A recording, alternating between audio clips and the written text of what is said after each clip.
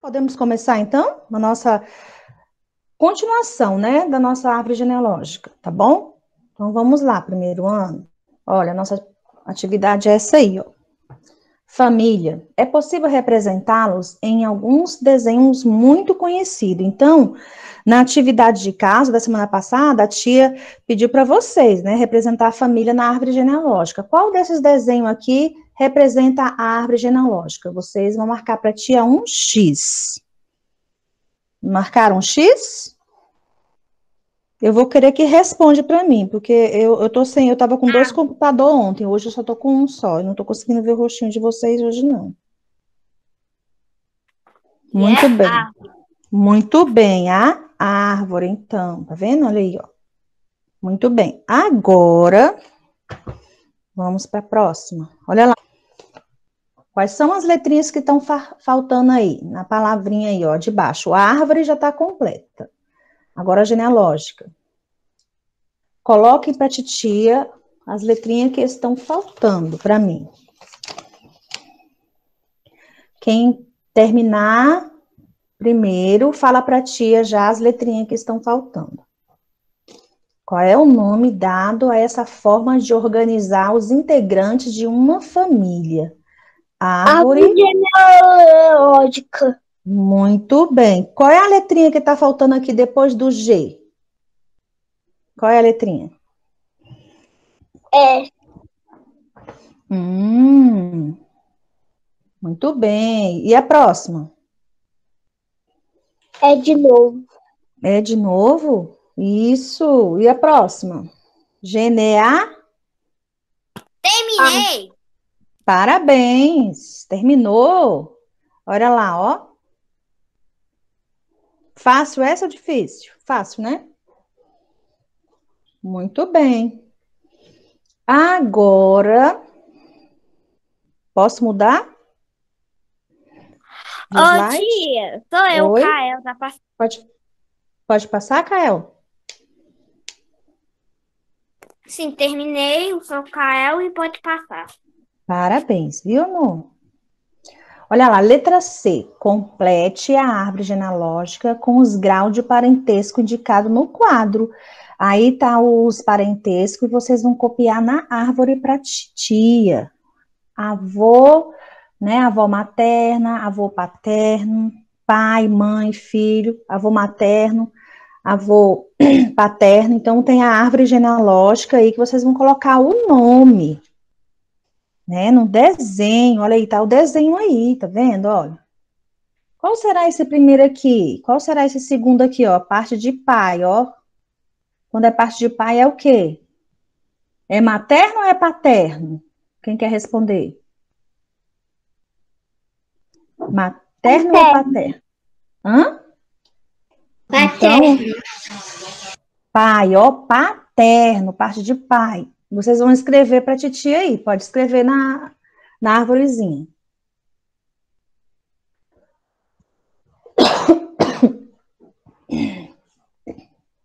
Essa aqui, Enzo. E essa daqui, essa vovó aqui, é o quê? Parte de pai, avô. Paterno ou materno, avó? Paterno. Muito bem. Escrevam. É para escrever, tá bom? O Arthur já chegou? Estão vendo ele aí?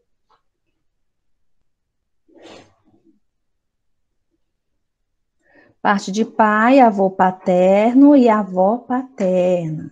Agora aqui, ó, parte de mãe é materno. Então aqui, avô, né, materno e avó materna. Aí vocês vão escrever para titia.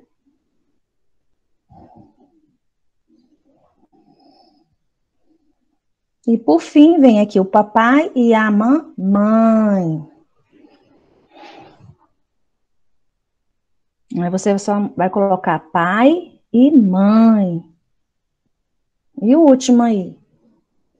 É o primo ou é o filho? Hum? A gente vai dar um tempinho para vocês copiar, porque demora um pouquinho, né?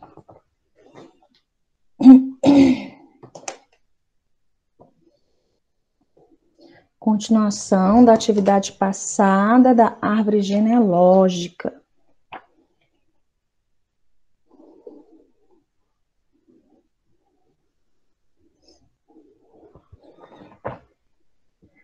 O Caio não participou ontem da aula? Aconteceu alguma coisa, meu bem?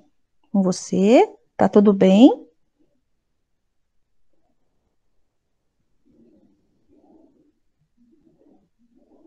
Tá, Caio?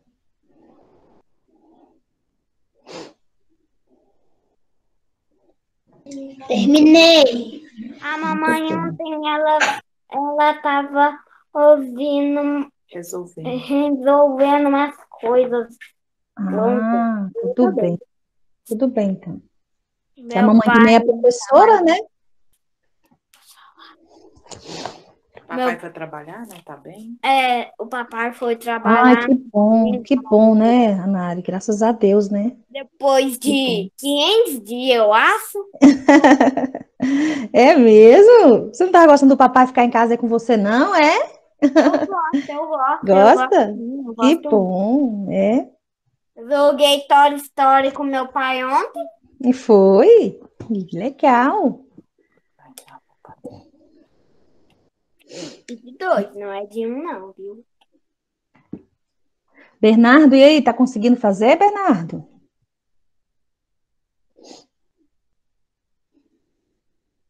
Maria Clara também tá fazendo, tá terminando?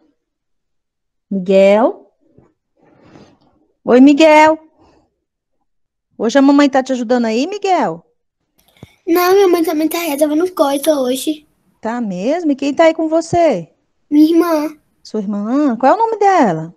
Nicole. Oi, Nicole, bom dia. Bom dia, Tudo bem? tudo bem? Ele tá conseguindo acompanhar aí a atividade? Tá sim, Ai, que bom. Obrigada. nada. Nicolas, tudo bem aí? Tá conseguindo?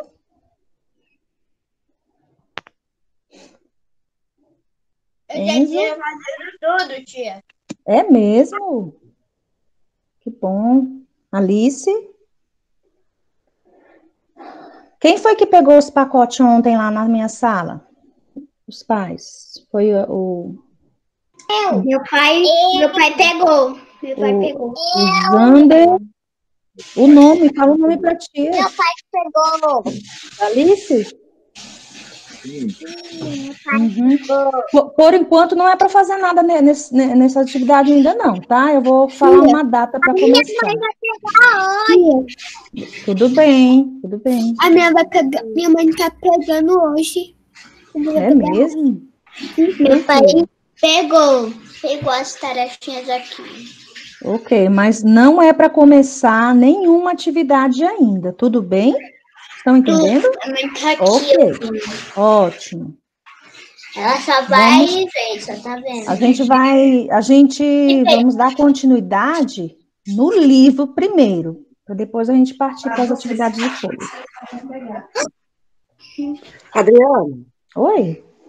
Pode falar. é para levar, é para levar as lições que já estão prontas? A, as- a primeira remessa das folhas, sim, se já está pronta, se o, é, a Mari- é a Verônica que está falando? É. Verônica, sim, se ela terminou a caixa de folha da primeira remessa, pode levar, e também o volume 1 dela, né, que eu não corrigi nenhuma atividade do volume 1 dela. Aí você pode Tá, levar para mim, tá bom? Bom, obrigada. Pode levar e deixar lá na coordenação da Ana Chantal. Tá bom. tô aprendendo a ler, tia. Ai, amor, a tia fica tão feliz. Eu queria tanto estar pertinho de vocês para poder eu ver, né, a evolução de vocês, que é tão bom estar na sala e a gente está vendo como é que a criança está evoluindo, está lendo. Muito positivas. Tem que praticar Eu todo dia. Eu só faço lição em letra cursiva. Ai, que bom. Tenta também ler também na letra cursiva, é bom, importante. Ok, então a titia vai mudar a página, tá bom? Primeiro ano. Ok? Vamos lá, agora tem um textinho bem aqui também, olha. Leia esse trecho, né, de conversa entre os personagens Visconde de Sabugosa e Emília. Vocês já viram o desenho lá do Visconde de Sabugosa e Emília? Turma do sítio do Pica-Pau Amarelo? Vocês conhecem? Se não conhece, depois a tia passa um trechinho para vocês, tá? Olha aqui um trechinho da fala deles. Juca? Que Juca? Pois é, senhora Marquesa. Não pesquisou? Não se informou? E agora nem sabe que Juca é o apelido do Lobato quando era pequeno? E por que Juca? Quem se chama José pode ter esse apelido, Emília. O nome do Lobato inteiro é José Bento Renato Monteiro Lobato. Então, aqui é uma fala entre conversas, né? E vocês perceberam aqui vários pontinhos de interrogação, fazendo perguntas. Então, aqui está falando sobre o nome, né? O nome dele, o nome completo, que as pessoas têm um nome, além do nome também tem apelidos. A tia Adriana quer que você circula no textinho aí. Quantas vezes aparece essa palavra Juca? Pega o lápis e circula para mim a palavra Juca. Circula a palavra Juca. E o nome aqui, o nome completo dele, José Bento Renato Monteiro Lobato. Então, nós temos sempre um nome e sobrenome. Às vezes nós temos dois nomes, né? A tia Adriana, por exemplo, eu tenho dois nomes, eu tenho Adriana e Aparecida, eu tenho dois nomes.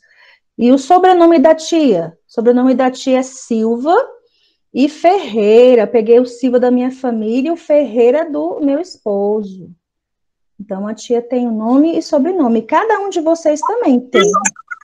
O, Oi, meu, amor. o, meu, o meu nome tem cópia também, sabia? É mesmo? Olha aí, ó. Uhum. Vocês às vezes têm nome e sobrenome. Às vezes tem dois nomes, né? Nome, quer dizer, fala-se nome composto, né?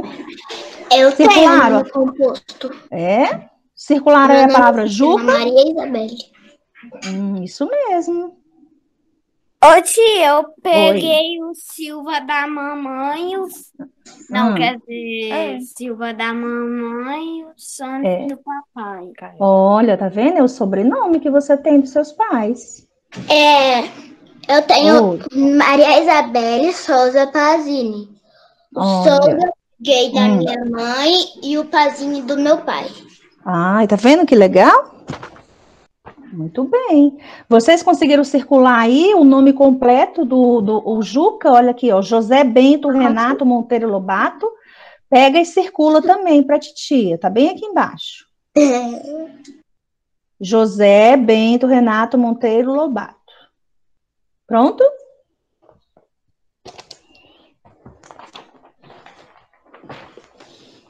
Então vamos lá para as perguntinhas, né?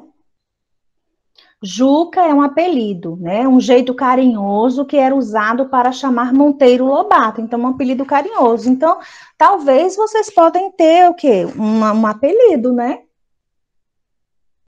A tia Adriana tem um apelido, minha mãe me chamava de Drianinha. O meu apelido é Drianinha. Drianinha para lá, Drianinha para cá. Você tem um apelido, Bernardo? Tem? Sim, Qual é o seu apelido? B. B, olha, tão fácil, né? E você, Maria Clara, você tem um apelido? Tem. Fala o seu Tem? apelido, ela tá perguntando. Isso. Qual é o seu apelido? Maroca. Ah, que bonitinho, fofo. Muito fofo. E você, Miguel, você tem um apelido, Miguel? Tenho, é Gegel. Gegel, muito lindo. E você, Nicolas, tem um apelido? Tenho. Qual é? Nicolas Davi Ni- apelido. Ni- Nico. Nico, muito bem. Legal. E o Kael, tem? Kael, apelido? Tem, é só K. K. Legal. Fácil de falar, né? K. Oi, K. E o Enzo, tem? Apelido?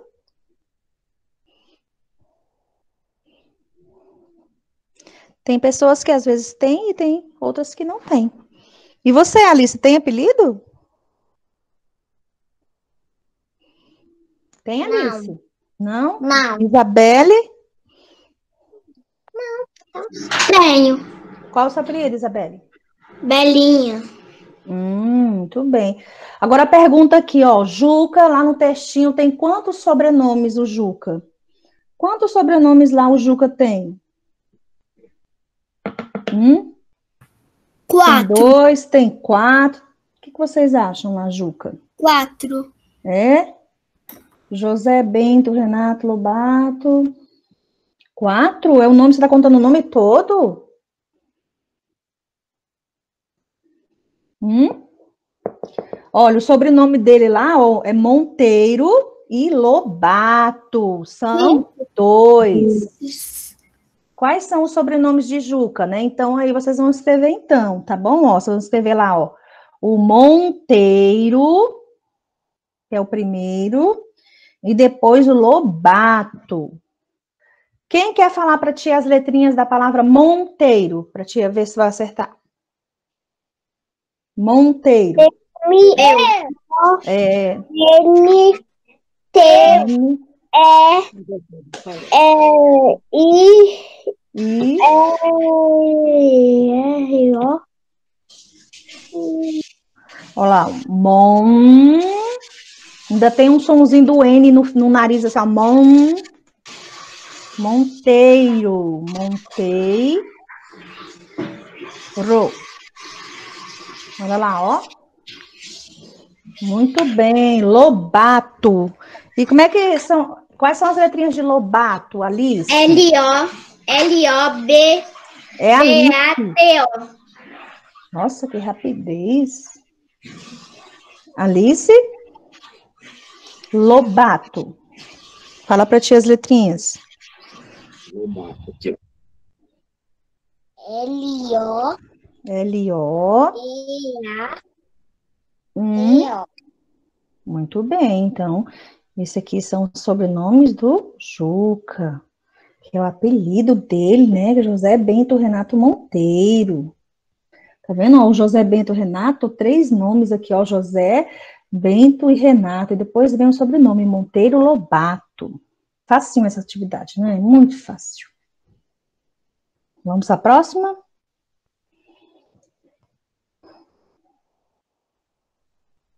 Que nome deu a, eh, deu a origem ao apelido do Juca? Bento, Renato ou José? Lá no textinho, né? Qual é o nome? Bento, Renato ou José? Se originou o apelido dele. Aí a menina fala assim, ó. Nem sabe que Juca era o apelido do Lobato quando era pequeno. Qual será? Bento, Renato ou José? Quem quer falar para ti? Quem se chama José? Quem se chama José pode ter esse apelido de Juca. Então, o quê? José? Isso. O apelido dele era José, é, o nome José e o apelido Juca. E qual é o seu nome completo? E agora a titia quer o nome seu completo aí. Podem escrever na letra D. A titia quer o seu meu nome. nome? Sim. Cada um vai escrever o seu nome agora na letra D. Pause. Vai escrever o nome com espaço, né? Cada palavra tem espaço. Vocês podem me dizer se o Arthur já chegou?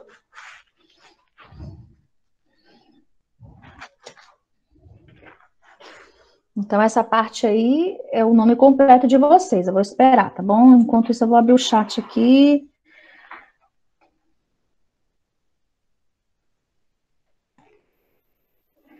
É, não chegou nem Paulo, nem Enzo. Eu já cheguei. Ó, Pa- Pa- é o, desculpa, é o Arthur que eu ia falar. Desculpa, Enzo. Você tá aí sim, meu amor. Tá todo mundo concentrado.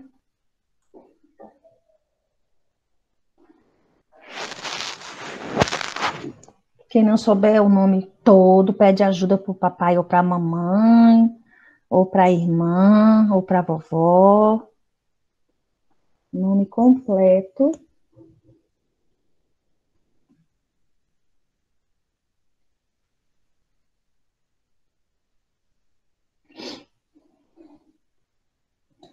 Terminei. Parabéns. Meu nome todo é Maria Isabelle Souza Pazini ou Belinha. Hum, Belinha? Como assim? Só. É meu apelido. Ah, Belinha. Uhum. Pronto, Bernardo? Joinha?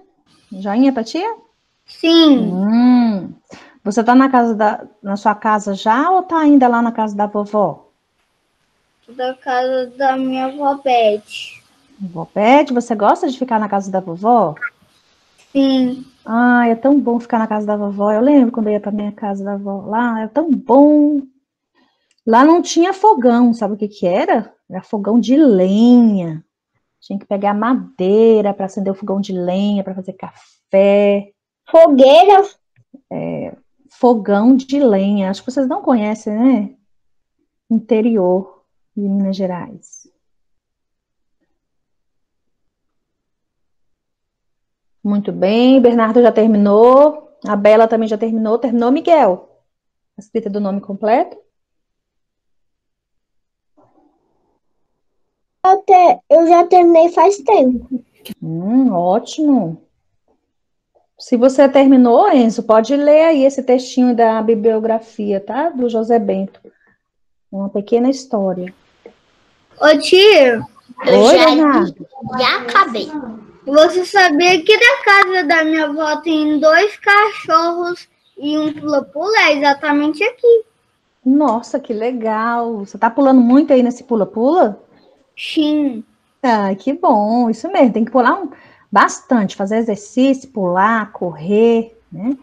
Minha prima tava aqui, só que ela foi viajar para Claros. Monte Carlos e que é... É, Monte Carlo. Montes. Claros. Isso. Montes Claro. Ah, que é legal. Aqui é Janaúba. que é Janaúba. É mesmo? Não conheço até esse daí, não, já não, conheço. Tia, acabei. Ótimo. Miguel terminou. Alice, terminou, Alice? Manda um joinha aí pra mim. Ótimo. Cadê a Maria Clara? Terminou, Maria Clara? Cadê o joinha da tia? Terminou, Maria Clara? Nicolas, terminou? Ótimo, Maria Clara. Nicolas? Enzo terminou. Tia, Oi? tia, eu já terminei todas as atividades 80. Que bom, que ótimo. Vamos lá. Kael, terminou? Terminei. Vamos lá voltar para os slides, então. Vamos lá. Visconde Sabugosa e Emília são personagens da história do escritor Monteiro Lobato. Opa. Vamos conhecer um pouco mais da história dele? Acompanhe a leitura com o professor. Vamos aprender a falar. um- Aqui, ó, tem um pouquinho da história, né, dele, do Lobato, do Monteiro Lobato, e se chama aqui bi, biografia. Olha lá. José Bento Renato Monteiro Lobato nasceu no dia 18 de abril de 1882, na cidade de Tabau, é Ba- oh. Ó, Taubaté, em São Paulo. Lobato foi o primeiro filho do casal José Bento Marcondes. Lobato e Olímpia Augusta Monteiro Lobato, filha de José Francisco Monteiro, rico fazendeiro na região, que ficou muito orgulhoso. Então, aqui é um pouquinho da história dele, assim, né? Uma biografia. Olha lá. Ligue cada nome ao grau de parentesco correto, né? Olímpia, Olímpia Augusta Monteiro Lobato, era o que será? Era a mãe de Juca, José Bento Marcondes. Hein? Quem era José Bento Marcondes Lobato? Era o pai. José Francisco Monteiro, avô. José Francisco Monteiro é avô materno de Juca ou avô paterno de Juca? Quem quer responder? Avô materno de Juca ou avô paterno? A resposta é avô materno. Isso, muito bem. sabia, eu sabia, eu disse isso primeiro. Amor, muito bem. Então, agora a titia vai fazer umas perguntinhas para vocês. Vamos lá, a gente termina nossa atividade aqui. Depois, ó, no espaço a seguir, desenhe um momento de lazer com sua família. Pense em algum momento que você gostou muito aí na sua casa. Se foi um aniversário, se foi um Natal, ou se foi uma brincadeira que os pais fizeram com vocês. Pense em um momento e faz o desenho aí para a titia.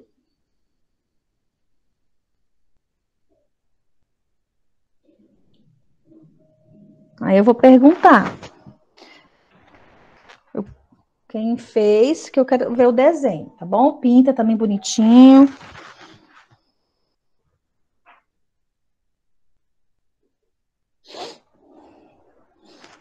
Então, essa é a nossa atividade final de história, né? Tá bom? E aí, na quinta-feira, a gente tem história. Então, na quinta-feira, história, eu vou estar fazendo perguntinhas, né? Do que já foi trabalhado durante as aulas. Então, mais ou menos vai ser tipo perguntinhas. Que já foi trabalhado na- nesses conteúdos já trabalhados. Então, vai ser tipo na quinta-feira, que é amanhã, uma revisão do que já foi trabalhado. Várias perguntinhas para vocês responderem, tá bom? No espaço a seguir, desenhe um, né, um momento de lazer com a sua família. E essa parte aqui, do número 10, vocês vão ficar para poder mostrar para mim amanhã. Que aí amanhã que a- é, cada um vai mostrar o seu desenho. Eu quero bem pintado, contorno de canetinha, para poder, para poder ficar bem bonitinho, tá bom? A tia Fran tirar uma foto. Tá bom? Então, amanhã tem mais uma aula de história. Capricha no desenho, momento, ainda escreve para tia. Que momento é esse que você teve em sua família, que você gostou? Né? Esse momento de lazer. Escrever para tia que amanhã eu quero ver o desenho, tudo bem? Então, agora a gente vai dar um intervalinho e vamos voltar daqui a pouquinho, daqui a 10 minutinhos com a aula de matemática, tá bom?